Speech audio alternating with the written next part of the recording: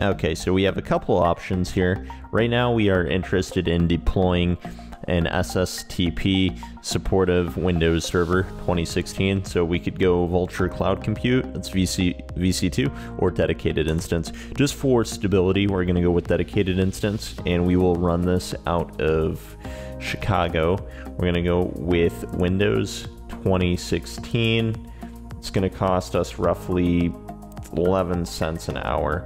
Kind of a pain in the ass. If anybody could become VIP on our website, that would super freaking help out because I am trying to launch a VPN for anyone that wants to use it all around the world. And the goal is to ideally to launch VPNs across different parts of the world where you can basically select the server that you would like to use. Now, right here, we're going with the 120 gig dedicated we're gonna name this uh, what are what we're gonna name this Chicago. So chicago.r4p3.net, and we'll deploy this. And it's gonna take a little bit to install, but as soon as it installs, I will show you guys what I'm working with here. Okay, now basically we're just connecting into the system. As an administrator, I'm gonna toss in our password there to authenticate. We're going to say yes. And we should be connected into our Windows server. Full screen this. And right away, we're going to go into add roles and features. Say, come on, add roles and features. Next, role based. Next. Next remote access. And we also want a web server, so IIS. Next, next, next. We'll get direct access, um, and we'll also get routing. So we'll do next, next. It's gonna give us all this delicious stuff here. I'll restart the server if it's required, click install, and it's going to take a while. So let this process go on, and once this is finished, we'll get back into working on this. Okay, right away we're going to start off by going into add roles and features. As soon as this actually fully loads up. Come on, this is supposed to be a dedicated server. It should be a little fast. Okay, so click next, next, next. We're gonna find remote access. Check the box. And we also want web server, IIS add features, next, and we'll just be able to next, well, yeah, we'll do next, next. We're gonna check for, um, we're gonna get this set up. So we want direct access and VPN, RAS, and we also want routing. Next, next, next. And we'll just say we'll restart it if it needs to. I don't think it does, but fuck. Uh, so now that we're we're doing that, we should be able to click configure this local server and we're going to change IE enhanced security to off for administrators. Open up IE, just click OK. I'm to say let's encrypt Windows simple.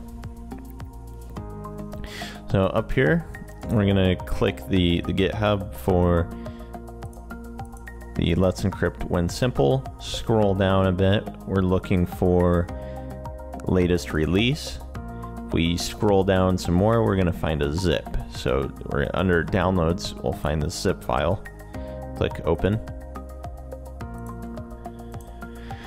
I'm just going to create a folder on the desktop called LE for Let's Encrypt. We're going to drag this over here to extract the contents and we're pretty much set.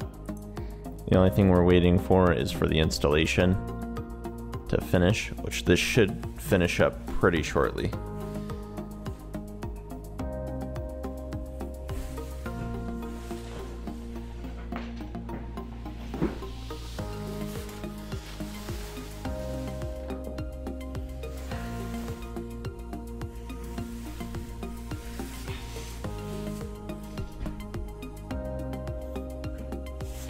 So it is finished and we're gonna go straight into IIS, right click, click Internet Information Services Manager.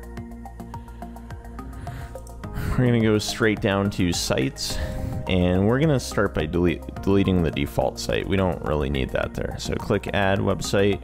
We're gonna say chicago.r4p3.net and we will go into inetpub, www root, make new folder. Just call this Chicago. Click OK. And for the IP address, we'll just say 104. Host name is going to be the same thing as site name. And make sure it's chicago.r4p3.net or, or whatever your uh, subdomain and TLD, you know, the, the full domain is. And we'll start the website immediately. So, cool thing is now that we have this started, I should be able to go to this and we're gonna get forbidden. This is perfectly normal. The reason why is because we don't have anything in here. If we wanted to, we could create a new text document, go under view, show file name extensions. We can just call it index.html, launch this in Notepad, and throw in a header. Just says hello. Now if we reload it, we'll see obviously hello. Now that's not the important part though. The important part is getting the certificate. So we'll just go ahead and run let's encrypt. They do make this really simple. We're gonna do a capital N, enter one, one, one, one. Put in your email if you want. We're gonna say we do agree.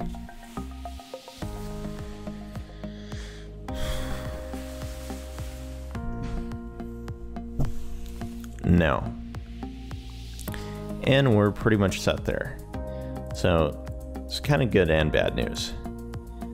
Bad news, we gotta open up the IIS manager again because strangely enough, we actually need to export a certificate and re, re import it. So we're gonna export this. Let's just call it ah password and ah ah now we need to import that same certificate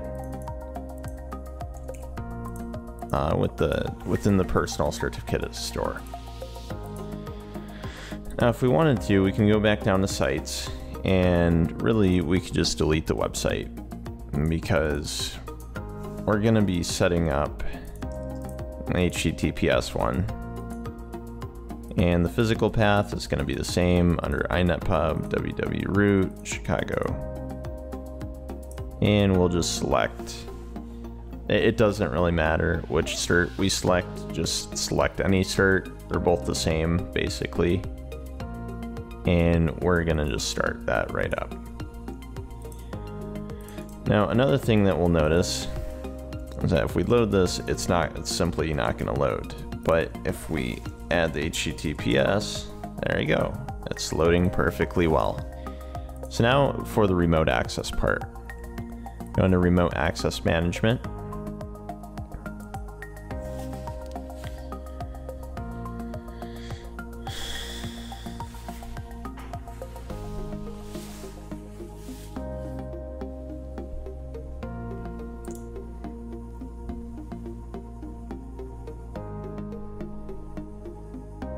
We're going to go into getting started wizard.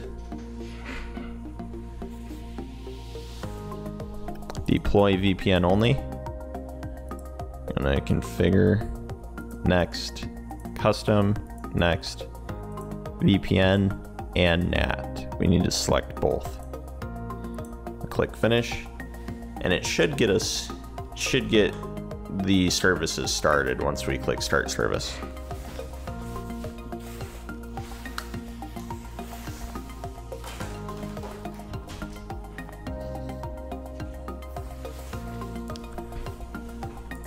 From here, we should see, well, well, you're supposed to see if it works out correctly and, and it's started up.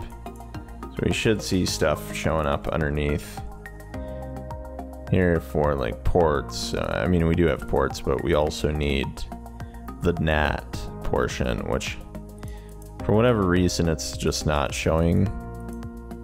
It's not showing NAT. So it looks like we're going to have to actually disable routing and remote access.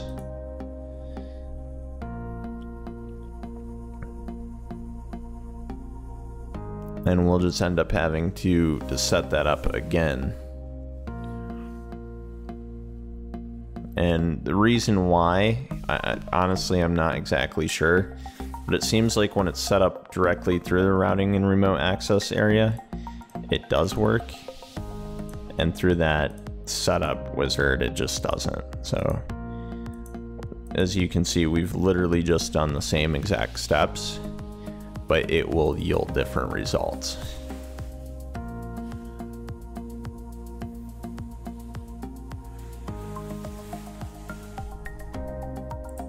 And as you see, we have NAT. Um, now we have two NATs. That's... That's annoying. We're just gonna add a server.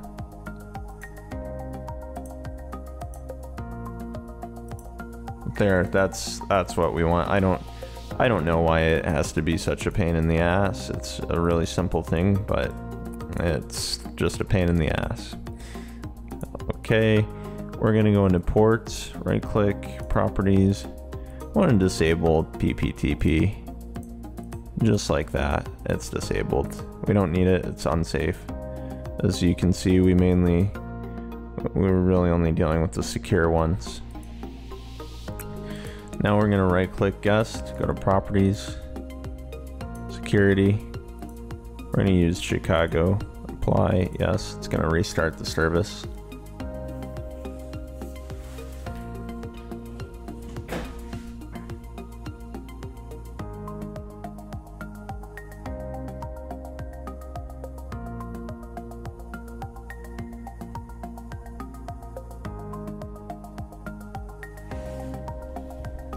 Okay, so now that we've got that, we're gonna go into static address pool. I'm gonna set this to one, two, three.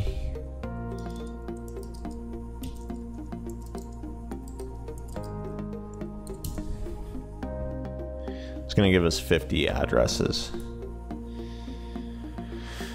Okay, so we'll apply that. And you should be just about ready to go with this.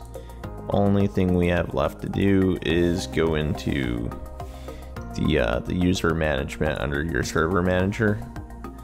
Right click, computer management. Go into users, we're gonna make a new user, and we're gonna call this one um, VPN. Alright, you know what? Actually, we'll name it test. No, test is too generic. What? How about dinosaur? That's simple. Password is going to be dinosaur123. Dinosaur 123. Oh, it doesn't meet the requirements. So dinosaur 123456. Dinosaur 56. Okay, you know what, dude? Fuck it. We're just gonna make it rape network with a capital N. And that should allow it to come on. We're to uncheck this, make it so the account doesn't expire or the password doesn't expire. The password can't be changed. Then we're to come into dial in and allow access, apply, okay. And it should be straightforward from there. We, we should be able to just VPN right in. So give the VPN a try now.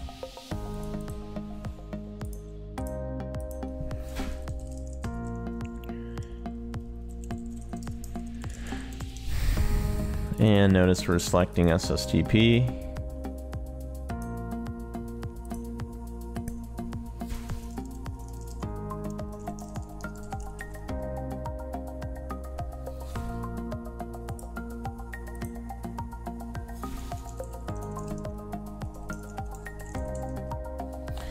It's aborting the connection. Let's figure out why.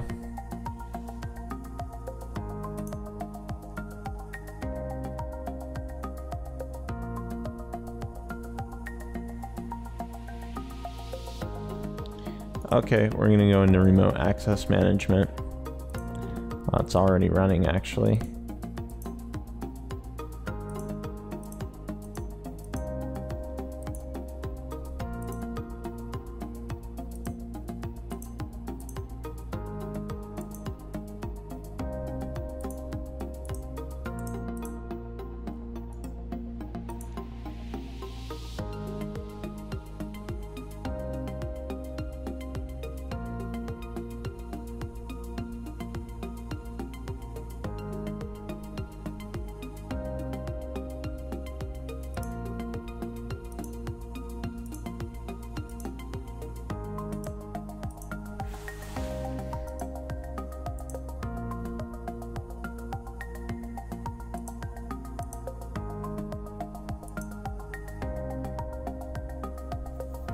It should be ready to go. We're gonna stop it and start it.